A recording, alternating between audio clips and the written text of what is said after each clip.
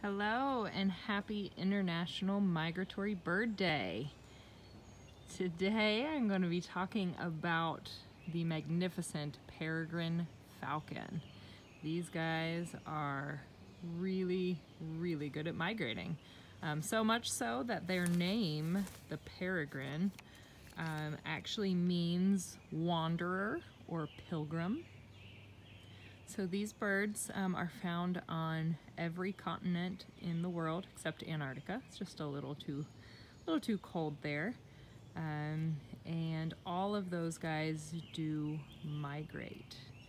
Um, so I'm going to talk about the North American species of peregrine. Um, so the tundra um, nesting peregrine, so those guys that are going to be found up north in Canada, Alaska, um, they actually winter in South America.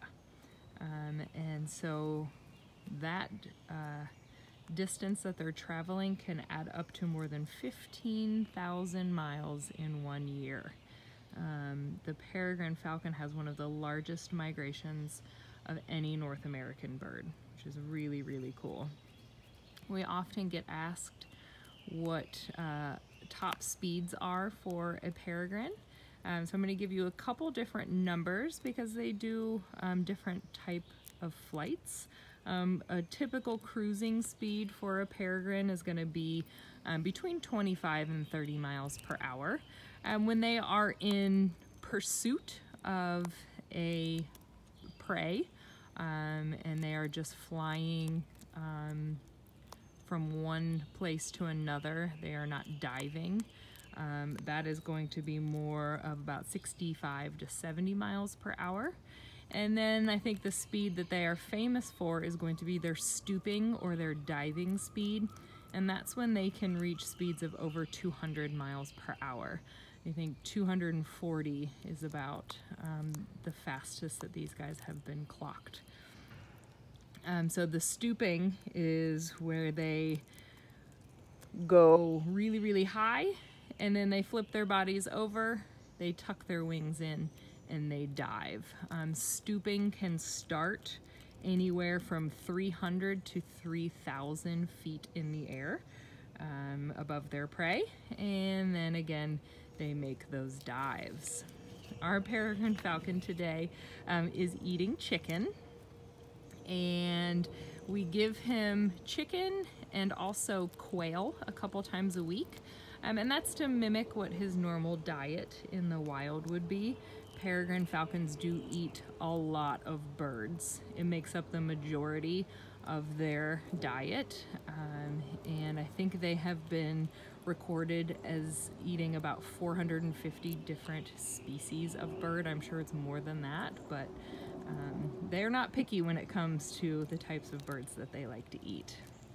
Um, so the way they go about catching their prey is really, really cool. Um, when they are in pursuit of their prey, um, a lot of times they can just catch it in midair. They have really, really big, giant feet. They have really long, flexible toes that help them catch that prey in midair. Um, but when they are coming out of that stoop or that dive, oftentimes what they'll do is punch um, their prey and um, what that does is stun their prey. Sometimes if they're going fast enough, that punch will actually kill their prey, but a lot of times it's just going to stun the prey, um, which renders them unable to fly. And so after the peregrine punches it, then they would reach out and grab onto it with their feet. Um, the next thing that they're going to do almost instantaneously is they're going to sever the spinal cord of their prey. Um, falcons have what we call a tomial tooth on the um, sides of their beak. Um, it's not an actual tooth, um, it's just a little indentation on either side of their beak and what that allows them to do is sever the spinal cord in midair. Um, so that, if the punch didn't kill him, severing the spinal cord is most certainly going to um, kill the prey. And then oftentimes um, what they will do is they will pluck the feathers off of their prey. He, perfect timing, has decided that he wants to pluck some of the feathers off of this chicken. Um, the, the feathers on these chicken, um, the, these chickens are only about two days old, so their feathers are very, very fine, almost hair-like feathers. Um, so oftentimes they will just eat right through it, but this chicken is very dry, and the feathers um, are very dry, so he's decided to pluck some of them off. And they just get in your mouth.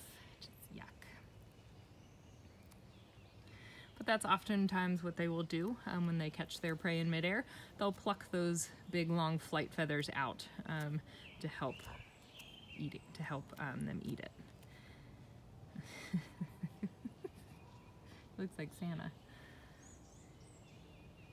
Um, so peregrine falcons are a species that were um, that were on the endangered species list. They were um, having a really really hard time. They were um, almost completely extinct um, from at least the east coast of the United States.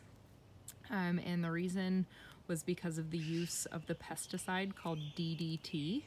Um, and long story short, what was happening is that the DDT was affecting the female's ability to produce calcium. Um, so the DDT wasn't dropping birds out of the sky, um, it was affecting them internally from being able to produce enough calcium to keep their eggshells um, from cracking. So um, the species went into a, a severe decline, um, so much so that they were put on the endangered species list. Um, and thankfully, because of pesticide bans and because of um, wonderful organizations and um, scientists getting together and reestablishing um, birds and nest sites in the east, these birds were taken off of the um, endangered species list in 1999. Um, there's a group that is called the Peregrine Fund, um, and back in the 1970s, that group was instrumental in reintroducing these birds back into the east um, and really getting their numbers back up.